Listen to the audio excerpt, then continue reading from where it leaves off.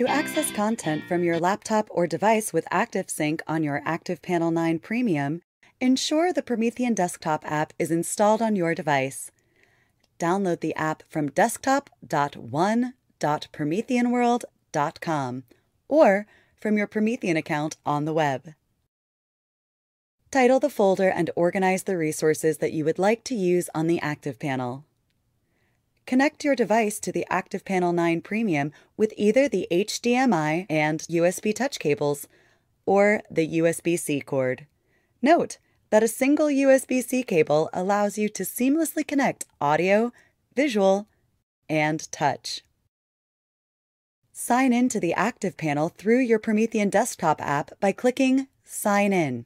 You are now signed in to your Promethean account on the ActivPanel.